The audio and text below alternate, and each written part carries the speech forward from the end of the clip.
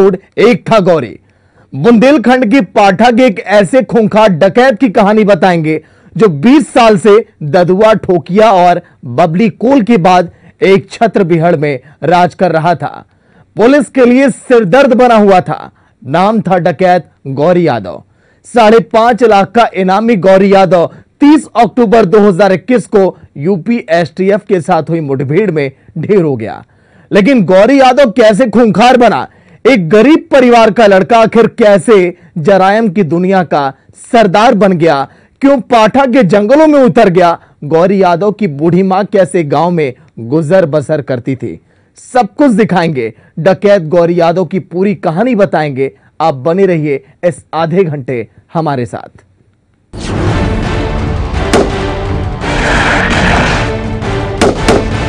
कितने आदमी थे?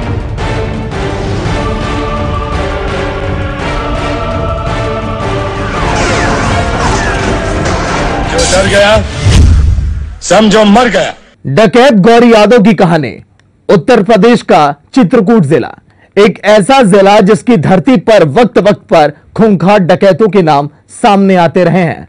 पाठा के जंगलों में कभी ददुआ, कभी ठोकिया तो कभी बबली कॉल। और फिर एक नाम सामने आया, गौरी यादव। लेकिन क्या आप जानते हैं कि गौरी यादव डकैत कैसे बना? अक्सर देखा गया कि दस्यु बनने की कहानी के पीछे कुछ ना कुछ कहानी होती है। पुरानी रंजिश, अपमान का बदला, लेकिन गौरी यादव के साथ ऐसा बिल्कुल नहीं था। देखिए आप। 20 साल पहले जिसने रखा था चारायम की दुनिया में कदम ददुआ ठोकिया और बबली कॉल के बाद जो बन चुका था पाठा के जंगलों का नया सरदार। जिसकी यूपी एसटीएफ को थी सरगर्मी से तलाश, जिसके सिर पर था साढ़े पाँच लाख का इनाम, जिसका था डकैत गौरी यादव नाम, खूंखार गौरी यादव की खौफनाक कहानी। दद्दू के फरमान का मतलब बिहार का कानून, फिर चाहे जो भी आ जाए।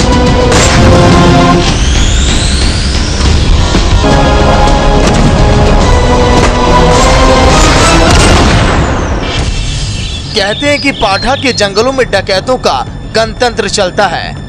कहा तो ये भी जाता है कि पाठा और चंबल के बिहड़ कभी सुकून की सांस नहीं ले सकते।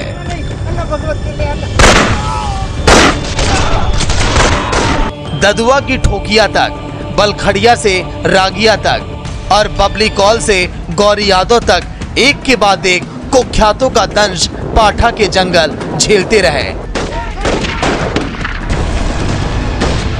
चंबल और पाठा के घने जंगल डकैतों का सबसे पसंदीदा और सुरक्षित ठिकाना बने रहे। सालों तक खूंखार डकैतों का इन जंगलों में एक छत्र राज चलता रहा। उत्तर प्रदेश से मध्य प्रदेश और राजस्थान की सीमा तक फैले इन जंगलों में खूंखार डकैत अपने गैंग के साथ दशकों तक दहशत का अध्याय लिखते रहे। कुछ डकैतों को सत्ता का संरक्षण भी मिलता रहा तो कुछ गैंग का वक्त वक्त पर सफाया किया जाता रहा। और जो बचे, उन्हें यूपी की योगी सरकार ने या तो मुठभेड़ में मार गिराया या फिर वो जेल में है। लेकिन आज हम आपको बता रहे हैं, एक ऐसे डकैत की कहानी जो दूसरे डाकुओं से अलग है। डकैत गौरी यादव। जी हाँ कभी पत्ते अगर जंगल में हिला करते थे तो दस्यु सम्राट ददुआ के कहने पर हिला करते थे, ऐसा कहा जाता था। दस्यु सम्राट ददुआ ने चित्रकूट के जंगलों में लगभग तीन दशक तक राज किया। उसके खौफ और आतंक की कहानी इस क्षेत्र के विकास के, की तस्वीर देखकर बयां होती है। इसके बाद दस्यु ठोकिया, दस्यु बलखड़िया, द बबली कोल, लवलेस कोल, रागिया, तमाम डकैतों ने इस धरती पर राज किया और इनके खौफ और आतंक की कई तस्वीरें देखने को मिली। लेकिन इसके बाद एक ऐसे शख्स ने इस धरती पर कदम रखा जिसका नाम था दस्यु गौरी यादव। जी हाँ गौरी यादव पाठा के जंगलों का आखिरी सरदार, जिसके एनकाउंटर के बाद ये कहा जाता है कि अब चित्रकूट के जंगलों में यूपी एसटीएफ डाकुओं का सफाया कर चुकी है। ददुआ ठोकिया, बबली कॉल के बाद गौरी यादव। दहशत का वो नाम जिसके जरायम की दुनिया में कदम रखने की कहानी बेहद रोमांचक है। गौरी यादव साढ़े पाँच लाख का इनामी था। पुलिस को गौरी की तलाश काफ़ी वक्त से थी, लेकिन चालाक किस्म का ये डकैत पुलिस को कई बार चकमा देकर भागने में सफल रहा, लेकिन इस बार वो नहीं बच सका। 30 अक्टूबर 2021 का वो दिन डकैत गौरी यादव की ज़िंदगी का आखिरी दिन साबित हुआ। गौरी यादव जिसके ऊपर एक लाख का इनाम था, लेकिन इसके लगातार जो कारनामे थे, वो बढ़ते चले गए और यूपी पुलिस को घुटने टेकने पर इसने मजबूर कर दिया। मुकदमा इतने तेज़ी से बढ़ते गए कि दरोगा तक को इसने अपने गाँव में जब दबिश डालने दरोगा आया, दिल्ली से दरोगा की टीम आई, दरोगा को मारकर उसकी रिवॉल्वर लूट ली और इसके बाद इस डकैत का आतंक बढ़ता चला गया। कई सालों से एसटीएफ को इस दिन का इंतज़ार था। पाठा के जंगल में अकेले बचे डकैत गौर यादव का खात्मा करने के लिए एसटीएफ के एडीजी और तीस तर्रार आईपीएस अधिकारी अमिताभ यश ने खुद मोर्चा संभाल लिया। इनपुट के मुताबिक, गौरी गैंग पहिलपुरवा थाना इलाके के मांडो बाँध के पास था। लिहाजा, खुद अमिताभ यश ने यहाँ पर जाल बिछा दिया और फिर गौरी यादव को घेर लिया गया। इस डकैत के ऊपर, इसके बाद एसटीएफ और यूपी पुलिस ने लगातार अभियान चलाए, लेकिन कोई सफलता प्राप्त नहीं हुई और कुछ महीने पूर्व इस डकैत पर पाँच लाख का इनाम घोषित किया गया। मध्य प्रदेश ने भी पचास हज़ार का इनाम, यानी कि कुल मिलाकर पाँच लाख पचास हज़ार का उत्तर प्रदेश का सबसे बड़ा इनामी डकैत तस्युग गौरी यादव, जिसे शनिवार सुबह यूपी एसटीएफ की टीम ने मुठभेड़ में मार गिराया।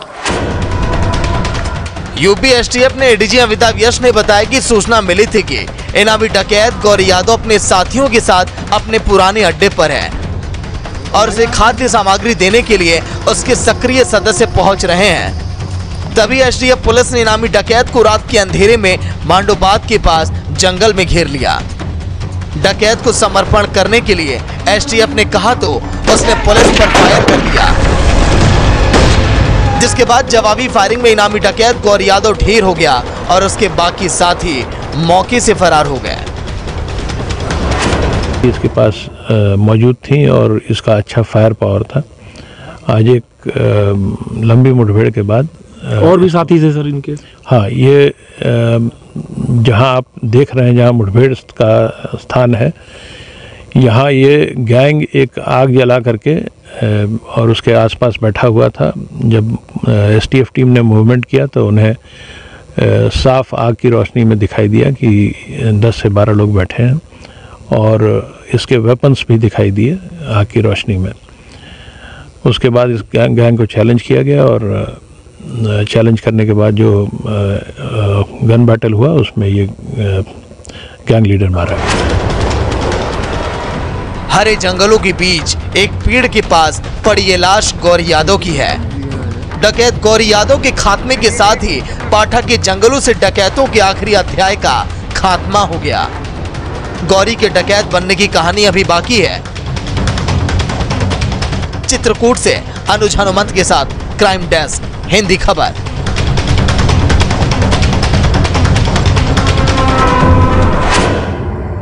गौरी यादव ढेर हो गया। गौरी को घेर पाना पुलिस के लिए इतना आसान नहीं था, लेकिन जंगल में सर्दी की वजह से गौरी का गैंग आग के आसपास बैठा था। लिहाजा, आग ने एसटीएफ का काम बहुत आसान कर दिया। इस पूरे ऑपरेशन के दौरान कई राउंड गोलियाँ चली, जिसके बाद गौरी के साथ जो बदमाश थे, वो भाग खड़े हुए, लेकिन गौरी नहीं बच सका। गौरी का गैंग काफ़ी कमज़ोर हो चुका था। गौरी के गैंग में कुछ ही बदमाश बचे थे। देखिए आप।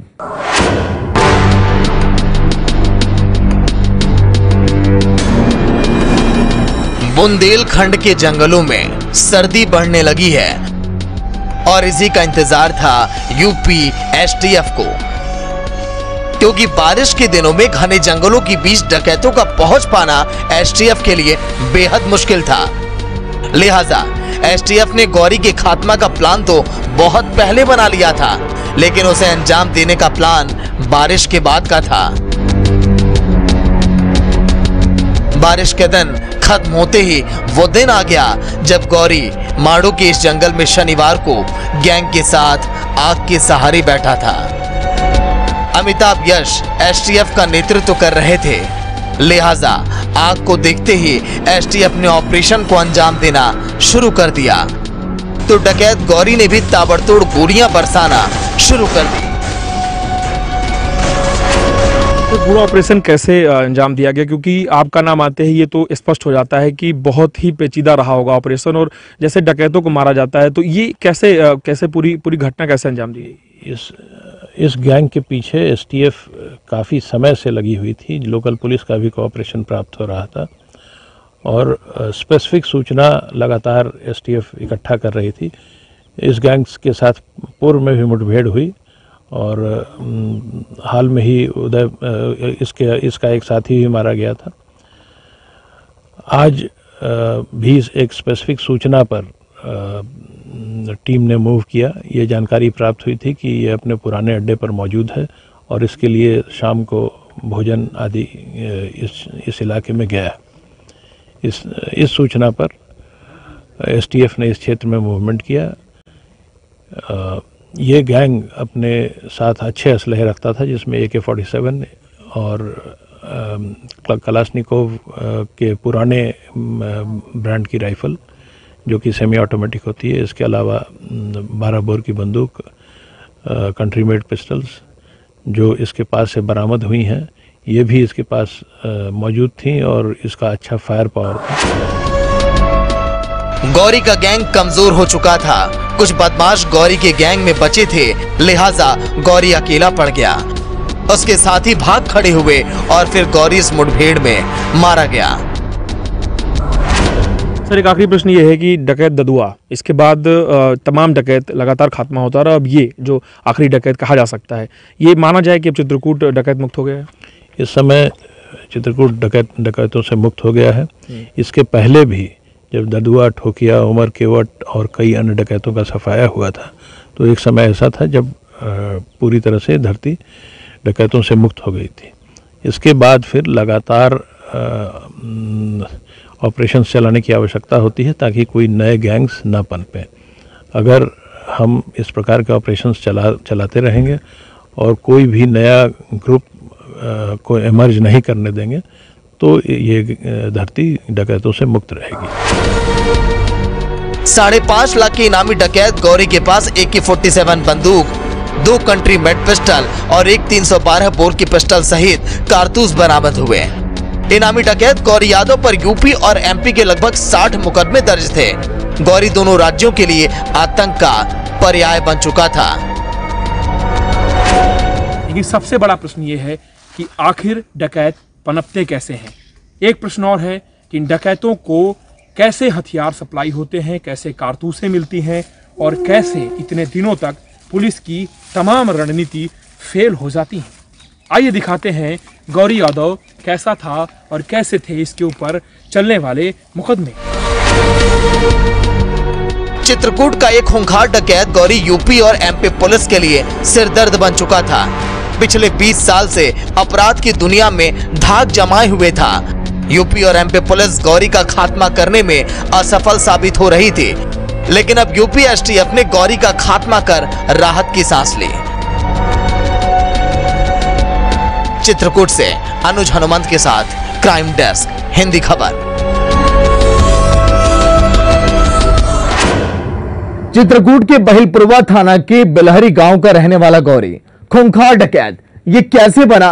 कैसे वो दस्यु सम्राट ददुआ, ठोकिया और बबली कॉल के संपर्क में आया? एक मुखबिर से खूंखार डकैत बनने की गौरी की कहानी दूसरे डकैतों से बिल्कुल अलग है। क्या वाकई गौरी को पुलिस ने ही खूंखार डकैत बनाया?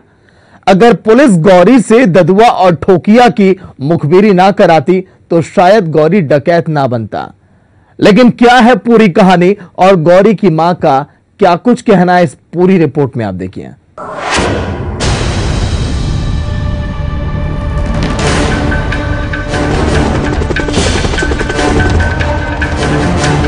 चित्रकूट के आसपास पाठा के जंगलों में सत्तर के दशक से डाकुओं का राज रहा। इन डकैतों का सफाया करना पुलिस के लिए चुनौती थी और पुलिस आसपास के गाँव के लोगों से मुखबिरी कराती थी। इस समय हम डकैत गौरी यादव के गाँव आ चुके हैं। बड़ी बिलहरी में गाँव है और यहाँ पे घर है और घर यहाँ पे बना हुआ है जो टूटा आपको हिस्सा दिख रहा है खंडहर में। ये बताया जा रहा है कि ये घर था जो हिस्से में मिला था और इसके पीछे जो गाँव गाँव में घर बना हुआ है भाइयों का घर और यहाँ पे माता जी भी उनकी है माता जी। और मैं उनसे बात करूँगा कि अभी आपको जानकारी मिली कि आपके लड़के का मुठभेड़ में एनकाउंटर हुआ मारे मारा गया कैसा था वो? अरे अबे तो मैं सुने यहाँ मुझसे जा खुशी खुश हमारा बता लागे साहब नहीं मैं हूँ नहीं जानती रही हूँ तो बता लागी कि मारेगा मारेगा तो मैं भागत चल जाऊँ तो मैं ना पाए हाँ। अच्छा कैसा था ये बचपन में और अभी आपको अब जानकारी मिली कि जंगल चला गया अभी कोई बातचीत होती थी? बातचीत नहीं सबको जैसे अब तुम हूँ कहते हो कि गौरी बदमाश है वह कहते वह कहते हैं पहले का तो कतवा जाता चरौरी बिनती करा रहा हूँ कि दादू ताई इंता ना ना कर तो कहा मैं नहीं जाते मैं साहिबन के साथ ही आ जाता मैं कहा जाना हाँ। उन्हीं मुखबिरों में एक था गौरी जिसे एसटीएफ अपना मुखबिर बना रहा था। दरअसल गौरी यादव पहले पुलिस का मुखबिर हुआ करता था जो डकैतों की हर एक जानकारी पहुंचाता था। यही वजह रही कि वह पुलिस के हर एक चाल से वाकिफ था जिसका फ़ायदा उठाकर कई दशकों से जरायम की दुनिया का बादशाह बना रहा। कभी कभी कुछ लोग ये भी कहते थे कि पुलिस ले जाती थी आपने बताया अभी कैसे ले जाती थी क्या करती थी? अब ददुआहन कमरुआ का घेरुआ का लेवा जा रहे हो चाहे जहे का लेवा जा रहे हो सहजोग ले का मैं साहब नहीं जानती हूँ मैं भाई कल मराई मैं नहीं जानती हूँ और अढ़ाई साल का रहा तब बाप मार गया। हाँ। हाँ तब बानी मजूरी कह के मैं खवाए पिया हूँ और आ का कहती बिटिया रही एक ठमो बिटिया रही। तो आप अपने बेटे को डकैत मानती हैं कि नहीं मानती? को मैं? हाँ। मैं अब डकाइते मानत हूँ न मुझे एक पैसा के कमाई खवाई से न कुछ पर लड़का तो पिराता है साहब। और ज़िंदा रहा तो मोए लाइके कहता तो ज़िंदा है। और अब तो मैं कहती है कि पहले तो राड़ हो गए पर और राड़ हो गए एक माँ का दर्द है उस बेटे के लिए जिसने जन्म लिया था। उस बेटे के लिए नहीं जो डकैत बन गया। लेकिन एक बात और कह रही आप जो बता रही थी पुलिस वाली बात हाँ। तो ये बात आपको पता कब लगी कि पुलिस ले जाती थी जंगल और इसके बाद क्योंकि मारा तो पुलिस नहीं है पहले ले जा रहे जब आवत रहे हैं तब बता रहे कि लगे इस्ती अब लो आ लगे इस्ती अब लो आ गए तब तुम हम बताने हम बताना हम बताना तो फिर जानती तो हाँ ही हम कभी बातचीत हुई? कैसे? जंगल में जब वो उतरा उसके बाद बातचीत हुई कभी? हाँ नहीं मुझसे कभी मुलाकात नहीं हाँ। कभी कहा नहीं कि चले आओ घर? मैं कहा का साहब अपन लड़का का कौन भी सिखाई कही कि कुछ लोग ये भी कहते थे कि जब प्रधान बनी थी कि वो डर की वजह से प्रधान बन गई क्या था कुछ मड़ैया अब कहे कि, कि, कि इन तना भा उन तना भा तो साहब मड़ाई के मुँह का का करी मोह दुश्मनी का मामला। तो ये एक माँ का वो दर्द है जो माँ उस बेटे को जानती थी जब वो जंगल में नहीं उतरा था। लेकिन माँ का एक आरोप ये भी है कि जानकारी उनको जो मिलती थी वो ये थी कि पुलिस ही ले जाती थी और पुलिस जो आज जो एनकाउंटर हुआ है ये एक जो आरोप है प्रश्न पैदा करता है। लेकिन फ़िलहाल ये तस्वीरें देखिए और गाँव वाले हैं गाँव वाले भी यहाँ मौजूद हैं और ये गाँव जो है वो बड़ी बिलहरी का गाँव है और ये आता है बहलपुरवा थाना क्षेत्र के अंतर्गत मानिकपुर में पाठा का इलाका जहाँ पे ये प्रश्न बहुत बड़ा तस्दीक करने वाला है कि आखिर कौन से कारण थे कि गौरी यादव को जंगल में उतरना पड़ा कौन से कारण थे कि उसे जो ये आरोप उनकी माता जी के द्वारा लगाया जा रहा है कि उनका कहना ये है कि बाप मन मारा घर हाँ तो ये बात है घर आप देख लीजिए तो- घर खंडहर के रूप में है फ़िलहाल माँ का दर्द इसलिए भी माँ रो रही है क्योंकि एक बेटा उसने खोया फ़िलहाल वो बेटा जो कभी जंगल में नहीं था। वैसे माँ आखिर माँ होती है। गौरी के सिर से पिता का साया बचपन में ही उठ गया था। उम्र के आखिरी पड़ाव में बेटी की मौत की खबर पर आँखों में आँसू लेकर कैमरे पर गौरी की माँ का दर्द छलक पड़ा। वो बता रही थी, एसटीएफ वाले जब चाहते, उसे अपने साथ ले जाते और अब उन्हीं ने गौरी को मार दिया। माँ बताती हैं कि गौरी जब ढाई साल का था, पिता का देहांत हो गया। फिर जब वो बचपन की दहलीज पार कर जवान हुआ तो एसटीएफ ने उसे मुखबिर बना दिया। यहाँ तक हथियार चलाने की ट्रेनिंग भी गौरी को एसटीएफ ने दी। पुलिस गौरी से डकैतों की मुखबिरी कराती थी। उसी दौरान डकैतों के संपर्क में आ गया। कहा जाता है, हथियार चलाना भी गौरी को पुलिस ने सिखाया। उन्नीस सौ बानवे में ददुआ का बिहड़ में आतंक था। ददुआ के संपर्क में आने के बाद गौरी को बेहद रास आ गया। कहा जाता है कि उन्नीस में चित्रकूट के बहिलपुरवा में तैनात एक इंस्पेक्टर ने उस समय सबसे खूंखार डकैत ददुआ की टोह लेने के लिए गौरी यादव को अपना मुखबिर बनाया था। मुखबिर बनकर डकैतों के संपर्क में आए गौरी यादव को अपराध और भीड़ ऐसे रास आ गए कि वह खुद ही डकैत बन गया। रिपोर्ट्स के मुताबिक, पुलिस ने मुखबिरी के लिए जो हथकंडे अपनाए, जो सिखाए, हथियार चलाने की ट्रेनिंग दी, गौर यादव उन्हें का इस्तेमाल अपने बचाव में करने लगा। एक समय ऐसा था बुंदेलखंड में जब चंबल का नाम आता था, लेकिन इसी बीच दस्यु सम्राट ददुआ के में आने के बाद तस्वीरें भयानक होती चली गई और लगभग तीन दशक तक दस्यु सम्राट ददुआ ने बुंदेलखंड के मिनी चंबल कहे जाने वाले चित्रकूट के पाठा इलाके में अपनी धमक कायम कर दी। 2007 में ददुआ के मारे जाने के बाद दस्यु सम्राट ठोकिया, रागिया, बबली कोल, लौलेस कोल तमाम डकैतों ने खौफ और आतंक की वो तस्वीर पेश की जिससे विकास कई गुना पीछे चला गया। इसके बाद एक ऐसे डकैत ने इस क्षेत्र में कदम रखा जिसके खौफ ने एक बार फिर सिस्टम को घुटने टेकने पर मजबूर कर दिया और वो नाम था दस्यु गौरी यादव का। 2001 में बिहार में कदम रखने वाला ये डकैत ददुआ से लेकर कई अन्य गैंगों के संपर्क में रहा। लेकिन सबसे बड़ा नाम तब सामने आया जब इसने दिल्ली से आई टीम, जो दबिश की टीम आई थी, उस पर हमला कर दिया और दरोगा की हत्या कर रिवाल्वर लेकर फरार हो गया। गौरी यादव ने 2001 में अपराध की दुनिया में कदम रखा था। 2003 में पहली बार इनामी डकैत गौरी यादव पर मुकदमा दर्ज हुआ था। शुरुआत में गौरी यादव ददुआ और ठोकिया के गैंग में शामिल हुआ था। इन दोनों ने पुलिस एनकाउंटर में मारे जाने के बाद 2008 में इसे जेल भेज दिया। जहाँ से ये दो साल बाद रिहा होकर वापस आ गए। वापस आने के बाद गौरी यादव ने अपना गैंग बनाया। फिर इसने दोबारा वारदातों को अंजाम देना शुरू कर दिया। एक बार मुठभेड़ के बाद इसे यूपीएसटीएफ और पुलिस ने पकड़ा भी था, लेकिन इसके बाद जेल से छूटने के बाद ये डकैत और खतरनाक होता चला गया और इसकी अगुवाई में सूत्रों की जानकारी के अनुसार लगातार रंगदारी और कई ऐसे मुकदमे होते चले गए कि जिसने इस डकैत को इस बीहड़ का बेताज बादशाह बना दिया। कहा यह भी जाता है कि वन विभाग से सबसे अधिक रंगदारी वसूलने वाला ये इकलौता डकैत था। माता को अपने प्रधान बनाने से लेकर कई चुनावों पर इसकी खास नज़र हुआ करती थी। और ये भी कहा जाता है कि इसको प्राप्त होने वाले हथियार और अत्याधुनिक जो रिवाल्वर और कई ऐसे हथियार थे जिनके ऊपर लगातार सवाल उठता रहा कि आखिर इस डकैत को ऐसे अत्याधुनिक हथियार कहाँ से उपलब्ध हो रहे हैं?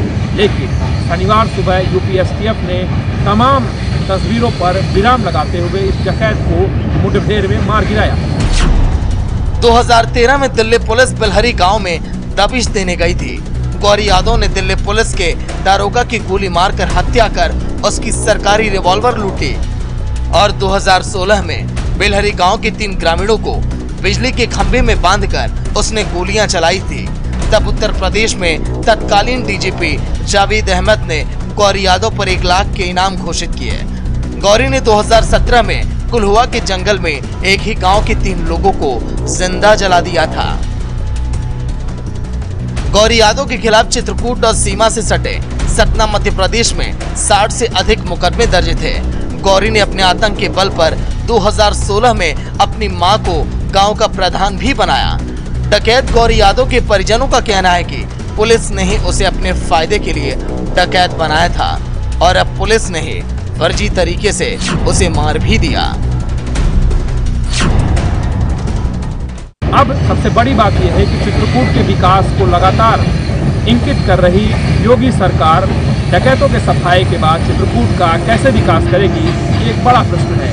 लेकिन लगातार सोशल मीडिया में योगी समर्थक लगातार कह रहे हैं कि अब डकैतों का सफाया हो गया है और चित्रकूट सहित बुंदेलखंड में विकास की गंगा बहेगी। वीडियो जर्नलिस्ट सचिन के साथ अनुज हनुमत, हिंदी खबर, चित्रकूट। वैसे एक दौर ऐसा था जब बिहड़ में डकैतों का बोलबाला रहा। कुछ सियासी दल अपने फ़ायदे के लिए डकैतों का इस्तेमाल करते रहे। लेकिन यूपी में सीएम योगी ने कमान संभाली। तब से या तो कुख्यात जेल में है या फिर मारे गए। सीएम योगी की अपराध पर ज़ीरो टॉलरेंस की नीति का ही तो यह नतीजा है कि गौरी यादव जैसा दुर्दांत अपराधी यूपी एसटीएफ में ढेर कर राहत की सांस ली। उम्मीद है कि बिहार में शायद ही अब कोई ऐसा ददुआ, ठोकिया, बलखड़िया, बबली कोल और गौरी यादव बनने की कोशिश अब नहीं करेगा। पाठा में दहशत का आखिरी अध्याय खत्म किया जा चुका है। हमारी खास पेशकश में इतना ही। देखते रहिए हिंदी खबर। नमस्कार।